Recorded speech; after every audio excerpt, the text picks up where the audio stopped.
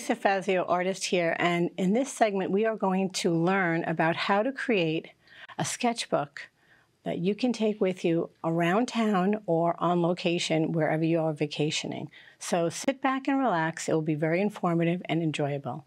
Okay, so to begin with, the first thing is you need to pick out a really nice sketchbook.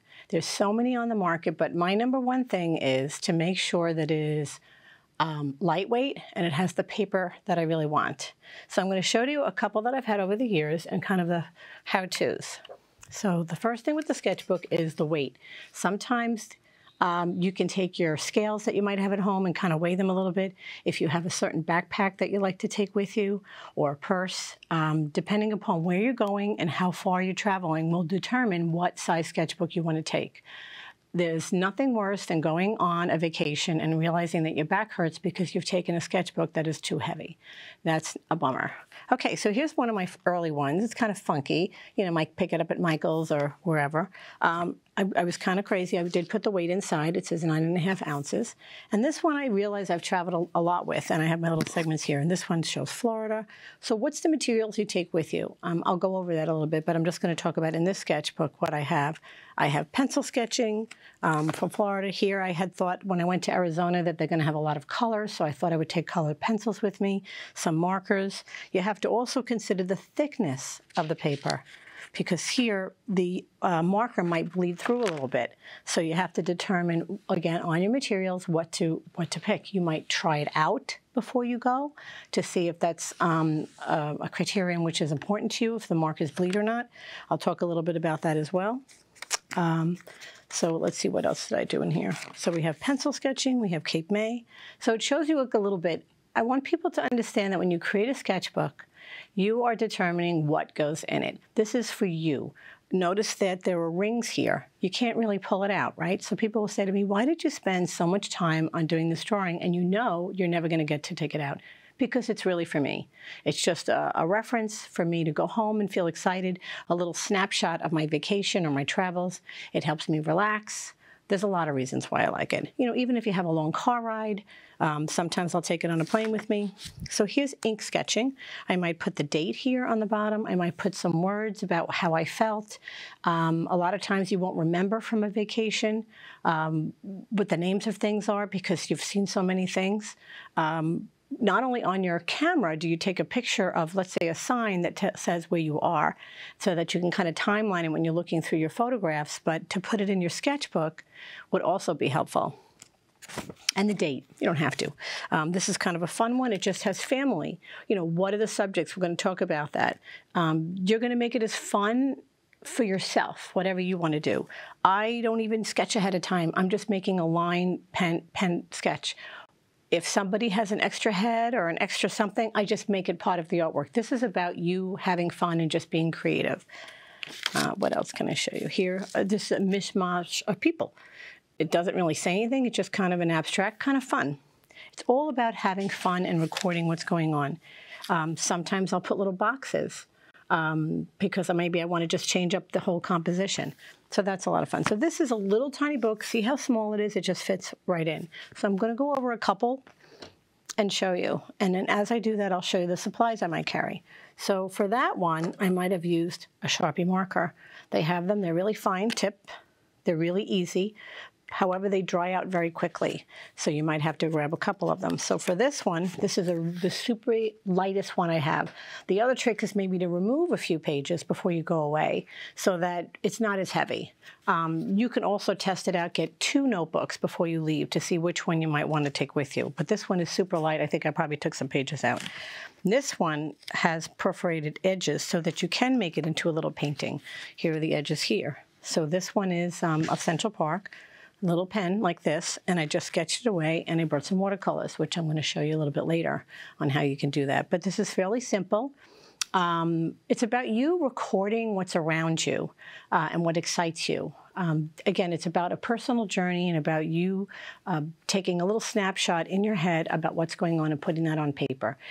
If you are a camera person, great, you record your life with cameras, but this is about you taking a little bit a slower moment and just recording the small, minute details that maybe a camera would not pick up on. Okay, so again, I sketched it and then I did the watercolor. I don't remember if I did it on location or if I did it back at the studio.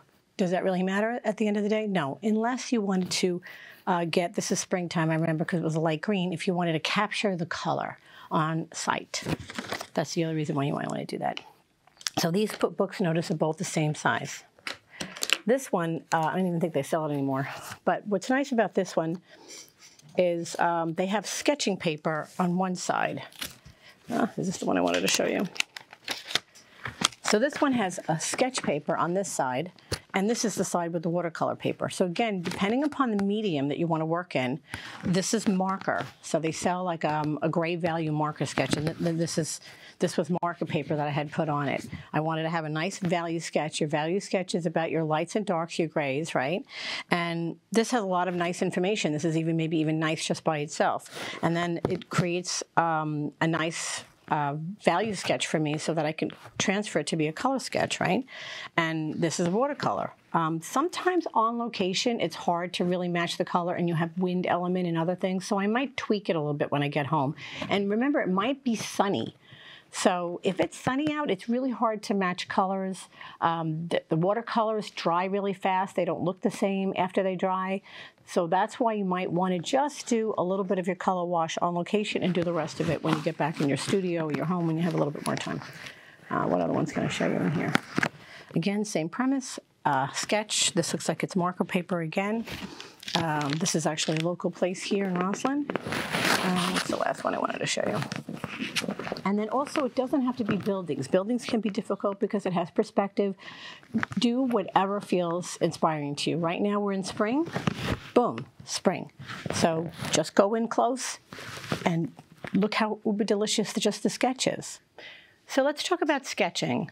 This is the pencil, nothing fancy, that I take with me on location. It's a little push button. The trick to this is you have to carry enough lead. So if I shake it here, you can hear the lead inside. So you want to make sure you have enough lead. Always carry at least more than one because you're going to either A, lose it, or it breaks, or it malfunctions. It is a mechanical pen. You can carry your old-fashioned pencil, which I have here, but you do have to carry um, a small, I have it somewhere, a pencil sharpener with you because you know it's going to break. But always make sure you have a backup.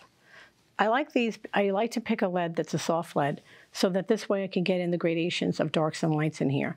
Uh, again, starting out with my bigger shapes, coming in, and then just kind of doing a cross hatching, which is sort of a back and forth like this with my pencil. Um, sometimes if I go really, really dark, it is going to become granulated, and you have to be mindful that when you close the book, you might have some of the um, graphite appear on your watercolor. Not fun. You could just put a piece of tissue paper in between. Again, an artist has to learn how to improvise. This is how it works. But nevertheless, it's a lot of fun to have a little book like this that can tell you about what your day's journey is about. What other one can we do? This is a small one, kind of fun, very lightweight. I like to take a notebook to the beach. Why? Because the beach has the best subjects. Everybody's laying, they're sleeping. You know they're going to be there at least for five minutes. It's like free modeling, right? How cool is that? So, again, nothing perfect it's just fun. Just random people on top of each other when they go to move a little bit. I just stick them somewhere in there. It's just fun. Means nothing to me. It doesn't have to be in proportion. It's just about says beach, fun day at the beach. So I want you to be imaginative and think how much fun can I have? All right, so those are small notebooks. What else can I show you? Let's show you some fun things. So this is a fancy Hodidote holder for your sketchbook on location. So I didn't get into the fact that when you go on location, you should make sure you have a good hat, you have your suntan lotion, you have a water bottle for yourself that you make sure that you're hydrated. They have really good camping chairs that you can bring that are lightweight. So what I take with me is a backpack and my chair. If I'm going to Central Park or if I'm going overseas, obviously I'm not bringing a chair with me, but I might take this depending upon, again, how much weight I want to have or if I have somebody with me who doesn't mind carrying some of this with them. So this one is a Staywo, and you, put, you just hook it here in the back.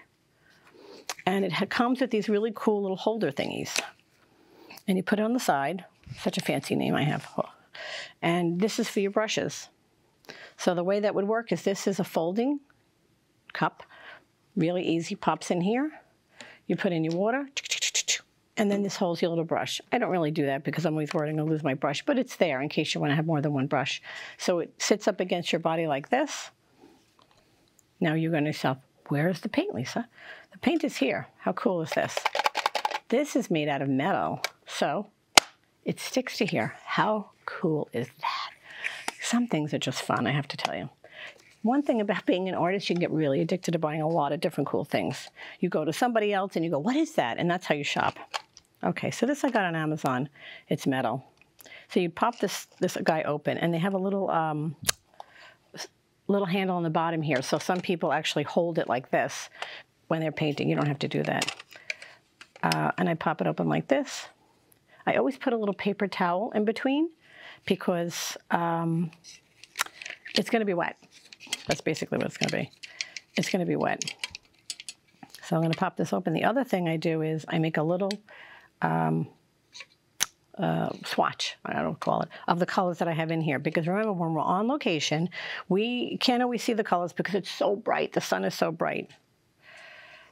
Okay, so it's like this. We're going to pop in. I wanted to show you how this all works. And I will do a, a little demo too, but I just want to show you this. Uh, little tiny water, like this, no biggie.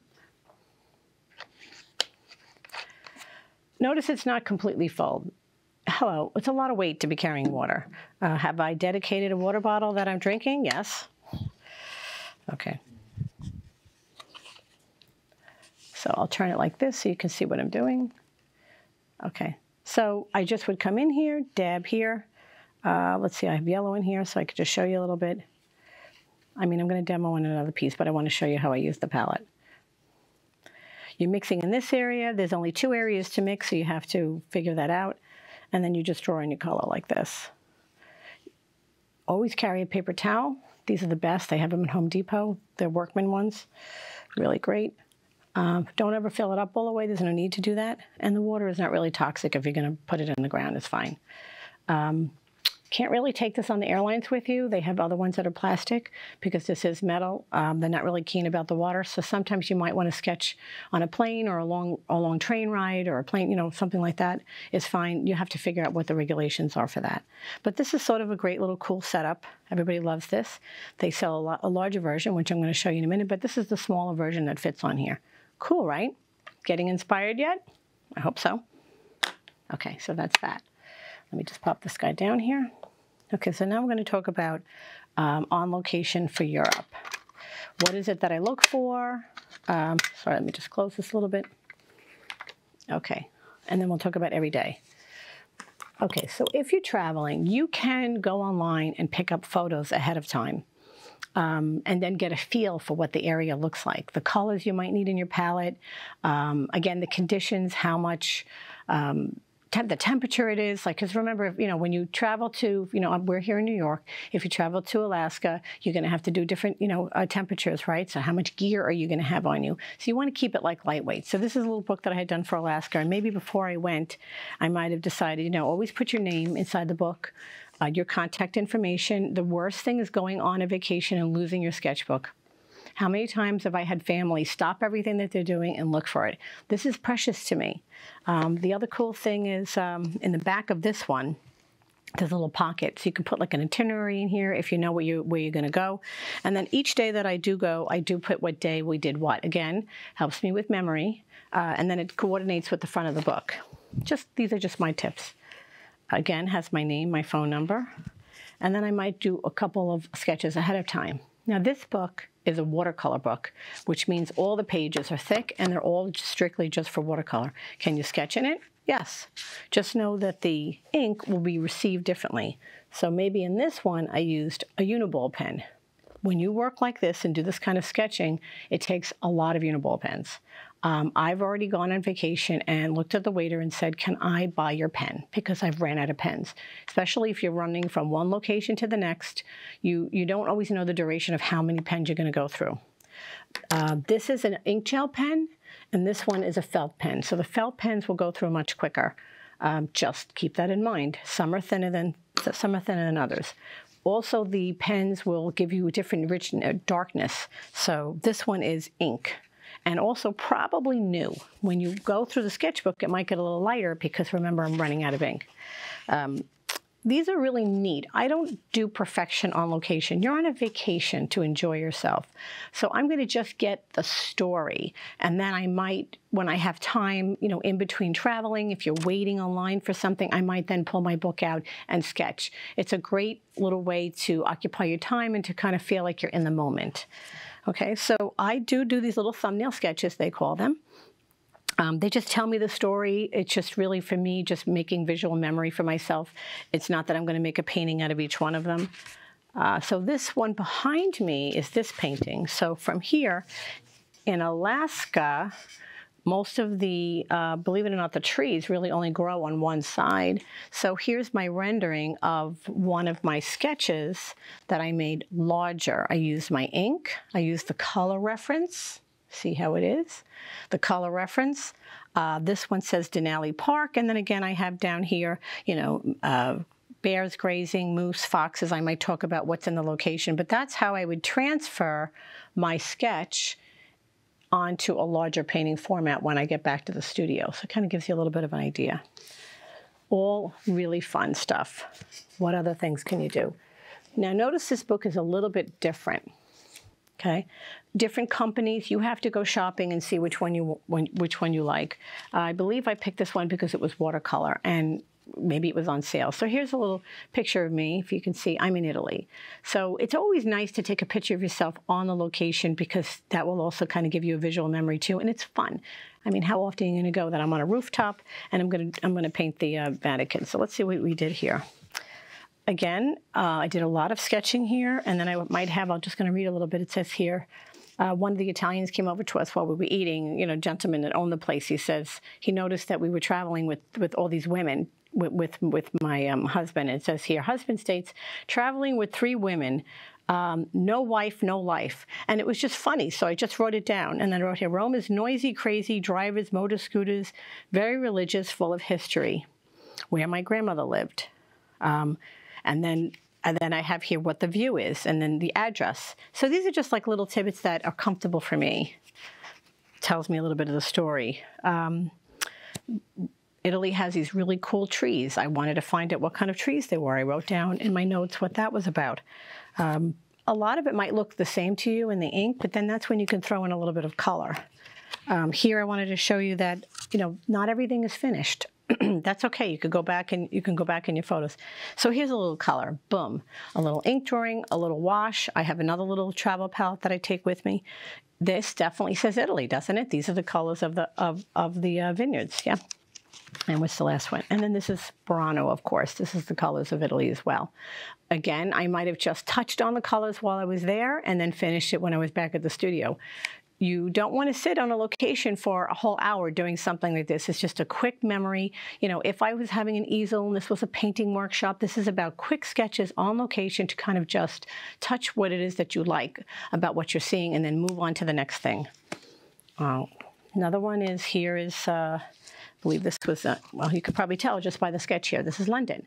Um, again, when you're walking around and picking up these main locations, you want to be able to know when you pick up the book where it is. So you're like, what do I sketch? Also notice there are no people in the sketch. You determine what it is that's the most important thing. I really loved the Grail work, and I thought that was really cool, so I decided to just focus on it. I'm not going to do a big painting of this. This is just for me, for visual information that I find exciting.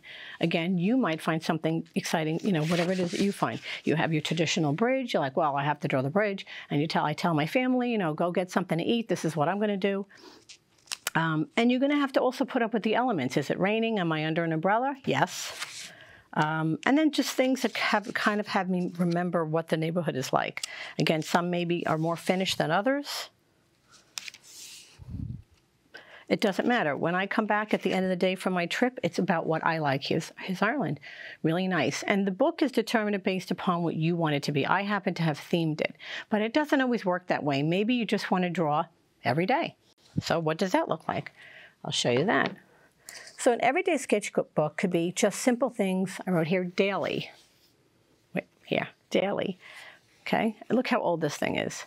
Um, don't get crazy about dates and everything. Again, the important thing is to put in, your information of where who you are. Notice the back doesn't have any dates on it because this is just my everyday living. This is regular paper paper. So what are the important events in my life? Well, I'm always sketching, which I'm going to show you, Central Park. Here it is. So I've sat here and I've drawn this more than more than once, and this one took me probably about 45 minutes. Um, the people moving, right? They're eating lunch, they're not eating lunch. So again, I have learned to paint, you know, draw quick enough just to get the story down. Um, I'm not always drawing people. Maybe now it's spring and I'm drawing flowers. Again, it's whatever you feel comfortable with. It's just a, a visual story here about your life. You can do your animals. Here's spring again. Uh, one time we were on vacation. One kind of fun thing is everybody's sleeping. Everybody was sleeping. I was bored. I'm going to draw you. I can't tell you how many family members get annoyed and go, I don't look like that. It's hilarious. It's for me. I'm having a good time. You're, you're, you're a subject. You're, you're sitting there. That's too bad. And then I've had family members take my sketchbook and go, well, I'm going to do that. And then the other thing you can't get worried about is here is Central Park again. It's not finished who cares? It's just a quick rendering of whatever how much time I had in that minute. If I feel like going back and looking at the photograph and making it beautiful, I will. Don't get crazy. This is about you having a good time about the creative flow. Okay, what's the other thing I wanted to show you? I wanted to make sure that I had time to show you a local sketch and I wanted to explain what's behind me. Okay. So here I am to show you, uh, this is me in Central Park the other day. I had a friend come with me. I don't have normally a photographer come from behind me. And I'm sketching. There I am holding the sketchbook and I'm just doing a quick rendering of Central Park. And then this is what it is right here. So this is me sketching this. Okay, very quickly on location, boom, there's the pencil I just showed you, right? How cool is that? Now, this is what it looked like. Okay, but it's not always going to be like that. You have this, people walking up a path with a bicycle. Um, the, the, the light changes. There's sun, there's no sun. There's always going to be some type of element going on. You have to put in and take out what you feel is important. Again, you are in charge. So for instance, in this picture, I have these three little, I don't even know what they're called, some type of um, block here. In my sketch, I pulled it back further down because I wanted to really showcase this area here. You get to decide what's important and what's not. You know, did I put the buildings in? Yes. Did I maybe move a tree over one or two times? You know, over here, yes. This, this little tree here, I might have moved over just because you're an artist. You get to decide what's the most important thing. Again, it's about just doing a little visual uh, memory of what's going on in that one current moment. Um, what else can I show you? So I wanted to do a little bit of a demo to make sure. So I showed you how to do a little pencil sketch. I'm going to just show you down here. So I did the pencil sketch.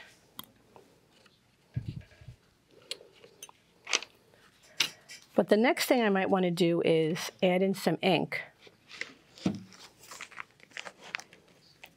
So here's one of the ink pens I like to use. One thing cool about this notebook is it has this little rubber band here. So if it is windy, uh, it's good. But I always carry an extra rubber band here or a clip, one of these guys. Uh, you have to really be prepared for everything. So this is a screw-off one. This has ink that you come in and you fill it up. It goes into a little barrel here, and then you you either you either pull it up or you or screw it up. That's what it is. I'm not going to get into that. Uh, one of the things is you want to make sure you have scrap paper. So you want to make sure that it's started already because you don't want to really do that on here. So this is ink. So I probably did this in pen. Uh, remember, I'm sketching upright. It probably, if the ink starts to run out, I'd have to lay it flat, but I'm just doing this for demonstration reasons. And this is the cross-hatching technique. Do, do, do, do, do, do, do, do, do, do. The other important thing is it has to be waterproof, right? Because I'm going to put watercolor on top of here. And one of the ways to test that is to just take a little bit of water and bring that across. See? Waterproof. That's how you know. So that's kind of important. Also, there's a drying time. If I drew immediately and put the water on it, it might blur. Maybe you might like that. I don't know. So you have to remember those elements. So I showed you how to use the watercolor palette, um, showed you how to use the pen. Um, what other things can I show you? Local stuff to do. I explained to you why you would want to uh, omit or not put in the sketchbook things. So we live here in Long Island. It's beautiful. The other way, this is a much larger book that I have. It's heavier, but this is again truly just for me. And I started it during the pandemic because I wanted to be able to draw outside. I would draw in my car if it was too cold. And I absolutely love it. So this again is just for me. So this is Cedarmere. So this one, I changed my whole look. I decided to leave a space going around and I'm incorporating ink with watercolor and now some calligraphy you can go online and see lots of different programs that you can register for that will show you how to make a really cool sketchbook. Uh, myself, lisafazioartist.com. I have sketchbook art. We are going to be at, um, where am I going to be? The Art Guild. I'm going to be working on workshops on location. It's all about you having fun and just finding the joy in the area. Here's Old Westbury Gardens.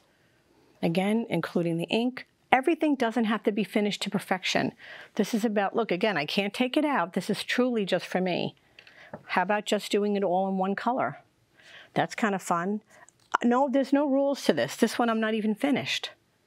Why is there a rush? You're just supposed to be enjoying yourself and enjoying the whole process. So I hope that you had found this enjoyable and that you're going to get outside and try to do something for yourself. Um, it's a lot of fun. Just go shopping for different materials. Uh, make sure you keep in mind that you want to keep it simple. Um, look at the weather. They have really good weather apps. Make sure you check it uh, beforehand. They have ones that you can check each hour. Um, make sure you're hydrated, and um, there are going to be bugs and elements around, so make sure you bring your bug spray. But number one, make sure you have a really good time uh, and just keep doing it and just keep practicing. I hope to see you soon. Come join us at the studio, lisafazioartist.com, and we'll have fun for sure. Talk to you soon. Bye.